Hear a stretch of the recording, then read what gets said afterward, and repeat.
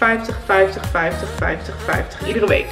Zo werkt het dus niet. Dat is niet bulken. Dat is niet de, het kan, maar dat is niet de goede manier. Ik heb het zelf ook gedaan, maar geloof me jongens, dat wil je niet. Dan denkt je lichaam, oké, ja, dit, dit is wat we gaan doen.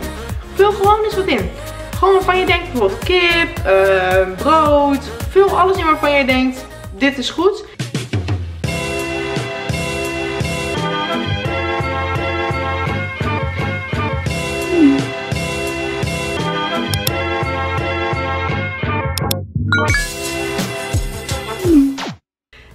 Super leuk dat je weer kijkt naar deze nieuwe Fit Edit video. Vandaag sta ik.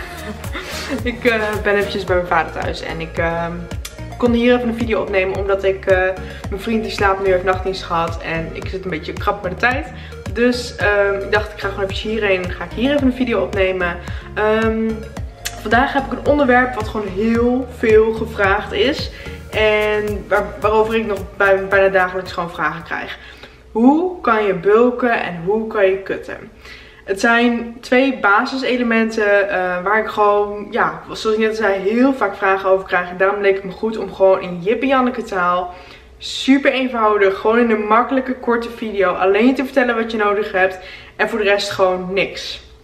Dus ik ga je de echte essentie, de vlakke basis vertellen. Zoals het mij altijd is uitgelegd. En zoals ik het jou nu wil overbrengen. Zodat je ook kunt bulken en kutten als je dat zou willen. En zodat je voor eens en voor altijd gewoon een makkelijke basis hiervan begrijpt. Um, allereerst ga ik even vertellen wat het verschil is tussen beide. Daarna zeg ik uh, wat uh, valkuilen wat de meeste mensen doen. Daarna vertel ik hoe het wel moet. Dus ik zou zeggen laten we beginnen met deze video. Allereerst het verschil tussen een bulk en een kut. Een bulk zegt het al, je gaat bulken, je gaat meer eten, um, je wil spiermassa opbouwen om uiteindelijk meer spiermassa te krijgen. Um, hiervoor moet je dus meer eten en uh, ja, dat is eigenlijk de basis ervan. Maar bij droog trainen, droog kutten, zo wordt het dus ook wel eens genoemd. Um, als je zegt kutten, dan is het, is het droog trainen hetzelfde. Um, dan is dus de basis dat je gewoon vet wil verliezen. Um, de nadruk ligt hierbij ook op vet. Dus je wil uh, niet zozeer echt heel veel kilo's kwijt en heel veel afvallen. Maar je wil gewoon vet verliezen. Om dus de uh, spieren die je tijdens je bulk hebt opgebouwd om die te laten zien, naar voren te brengen en om daarin droger te worden en te onthullen zeg maar wat je tijdens je bulk hebt kunnen doen en hoeveel spiermassa je in de afgelopen tijd hebt opgebouwd. En dat is eigenlijk het basisverschil tussen die beide. Je moet het ook onthouden op deze manier, als je gaat bulken eet je boven je energiebehoeften.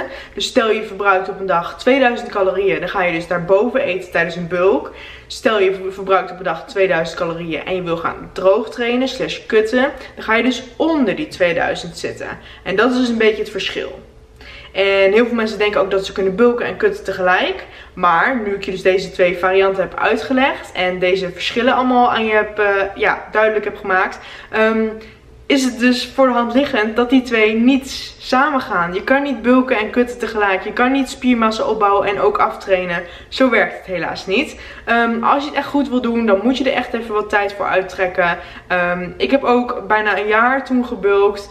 Um, zowel uh, dirty bulk, dus echt gewoon eten, eten, eten om spiermassa op te bouwen. En ik heb ook een lean bulk, heb ik ook geprobeerd. Dus ik weet waar ik over praat. Ik heb allerlei verschillende manieren en methoden heb ik geprobeerd. Dus um, ja, ik ben je go-to person om hier alles over te vertellen. Ja, de klokkentower.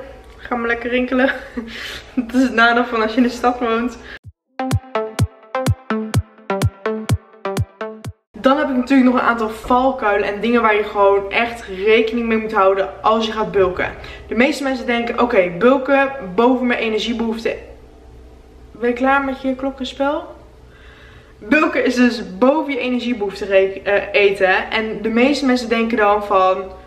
Oh, uh, ik kan wel zo en zoveel calorieën gaan eten.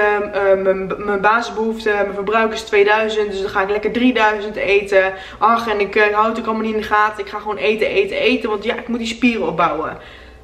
Zo werkt het dus niet. Dat is niet bulken. Dat is niet de, het kan, maar dat is niet de goede manier. Ik heb het zelf ook gedaan, maar geloof me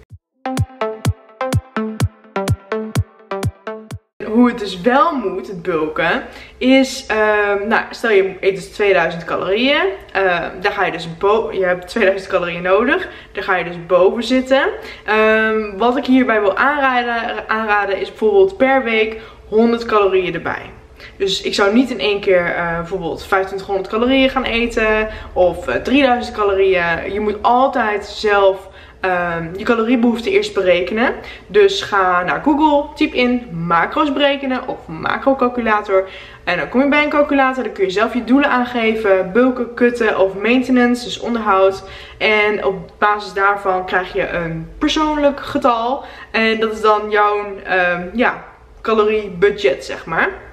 En op basis daarvan moet je dus gaan afstemmen hoeveel eiwit heb ik nodig, hoeveel koolhydraten heb ik nodig. En ook dat krijg je allemaal in die macrocalculator. Ik had persoonlijk ook al het eerste macrocalculator calculator, calculator op mijn site staan. Alleen die is uh, eraf, want ja, dat ding werkt gewoon niet helemaal goed. Ik ga binnenkort even kijken of ik hem kan fixen. En als je die informatie allemaal hebt, kun je die invullen in MyFitnessPal. Wekelijks kun je bijvoorbeeld naar dat uh, bulk... Um, level toewerken. Dus stel dat je uit je macro's berekenen krijgt dat je 2500 calorieën moet eten voor een bulk kun je bijvoorbeeld iedere week 100 erbij doen om te kijken hoe je lichaam erop reageert. Dat je langzaam kan opbouwen. En je kunt het ook nog wel veel langzamer doen. Maar 100 calorieën per week voor een bulk, dat is op zich goed. Het is bij een bulk ook heel erg belangrijk om rekening mee te houden dat je, je wil spieren opbouwen, maar je wil zo, zo min mogelijk vet aankomen. Dat is dus de reden waarom je geen dirty bulk moet doen. Dus niet in één keer alles moet gaan eten wat je, waar je maar zin in hebt. En maar zien hoeveel spieren je aankomt en maar afwachten hoe het allemaal verloopt. Dat heb ik persoonlijk ook gedaan en dat is gewoon niet de, niet de manier. Het heeft me wel heel wat progressie um, gebracht, maar daarbij moest ik ook echt wel heel veel vet kwijt. En heel veel, uh, ja, mijn best doen zeg maar, om weer droog te trainen. En ja, het kan gewoon voorkomen worden door wel gewoon goed op je intake te letten. Genoeg eiwitten te consumeren, zware krachttraining te doen. En als je die elementen allemaal bij elkaar samenvoegt, dan heb je gewoon een succesvolle bulkfase. Dus dat is hoe het moet. Dat is de essentie. Dan zijn er natuurlijk ook nog uh, valkuilen bij het kutten. Heel vaak denken mensen dat ze in één keer, laten we die 2000 nog even nemen als voorbeeld, uh, als dagelijkse behoefte. Heel veel mensen denken dan dat ze gelijk van 2000 naar 1500 moeten zakken. Dat is dus ook absoluut niet het geval. Je moet geen extreme kuts maken. Want wat er dan gebeurt, je lichaam denkt van, huh, ik, net kreeg ik nog 2000 calorieën. Wat is er gebeurd? Waar, wanneer krijg ik weer genoeg voeding? Die raakt helemaal in de stress en denkt, wow, wat ben je aan het doen? Weet je, die gaat juist vasthouden aan je, uh, de, de voeding die het wel krijgt en vetreserves die je hebt. Omdat hij denkt van, uh, zijn we nu in een noodsituatie? Is het een noodtoestand? Uh, wanneer krijg ik weer genoeg? Je begint dus op die 2000 calorieën en doet uh, iedere week min 50, min 50, min 50, min 50. Elke keer langzaam uh, afbouwen. Dan denkt je lichaam, oké, ja, dit, dit is wat we gaan doen. En die uh, raakt dan gewend aan dat routine dingetje. Dat je steeds min 50, min 50, min 50. En op die manier kreeg je lichaam gewoon de kans om... Rustig te wennen aan die veranderingen.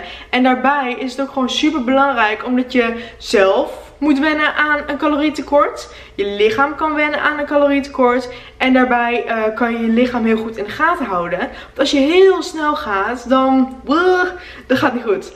Als je dus 50 per week of 50 per twee weken afbouwt, uh, kun je heel goed je lichaam in de gaten houden.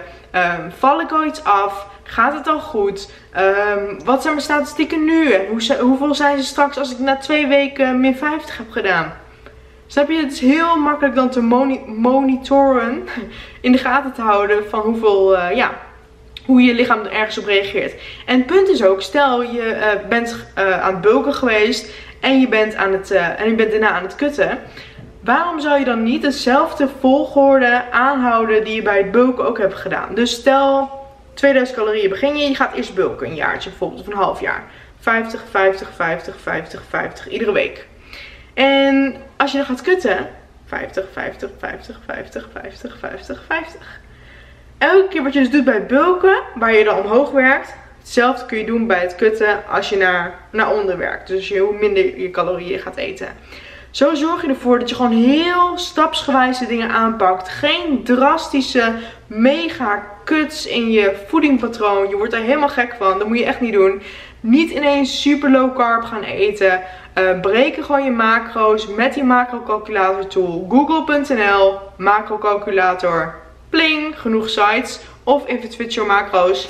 En uh, op die manier kun je gewoon heel makkelijk bepalen wat je budget is, hoeveel je moet eten en heb je precies jouw leidraad. En als je dus die macro's hebt, ga je die invullen in MyFitnessPal bijvoorbeeld of een andere voedingsapp.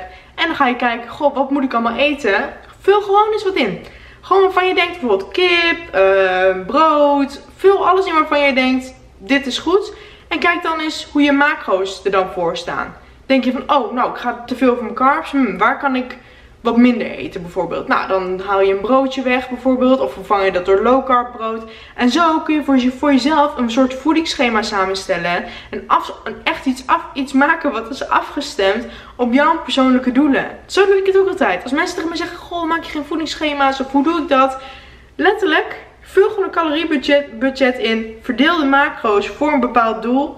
En ga vervolgens uh, voedingsmiddelen invullen waarvan jij denkt, dit is het, hier kan ik wat mee. Ook is het belangrijk dat je tijdens je kutfase ook genoeg krachttraining blijft doen. Omdat je juist je lichaam wil aangeven van de spieren zijn nodig. Als je alleen maar cardio gaat doen en vervolgens krachttraining laat, uh, laat verslonsen zeg maar. Dan geef je je lichaam gewoon een heel verkeerd signaal. Dus je wil echt voornamelijk tijdens kutten ook heel veel zware krachttraining blijven doen. Zoals ik nu ook doe. Dat is goed. Um, en dat is eigenlijk de basis van het bulken en het kutten. Het is niet meer dan dat, niet minder dan dat. De makkelijke tools hierbij zijn dus die macrocalculator en um, MyFitnessPal app of een andere app. Je kunt heel makkelijk samenstellen voor jezelf wat je wil gaan eten, hoeveel je moet gaan eten. En probeer het echt stapsgewijs aan te, te pakken. Weet je, hierdoor zorg je gewoon voor geleidelijke progressie. En uh, kun je het gewoon heel makkelijk onder controle houden en je lichaam goed in de gaten houden. En dat was even een basisvideo die ik voor je wil maken. Ik hoop dat dit wat duidelijkheid uh, heeft gegeven. En dat je nu eindelijk wat beter weet hoe bulken en kutten in elkaar zitten. En andere woorden voor bulken of andere woorden voor kutten is natuurlijk ook droog trainen. Dus mocht je die termen vaker voorbij uh, ja, horen komen, dan uh, weet je nu in ieder geval precies um, waar het over gaat en hoe het in elkaar zit. Uh, ik hoop dat je hiermee hebt uh, kunnen informeren. Geef een duimpje omhoog als dat zo is. En vergeet ook niet te subscriben op mijn channel. Dan blijf je als eerste op de hoogte van alle nieuwe video's. Heel erg bedankt voor het kijken en tot in de volgende video. Doei!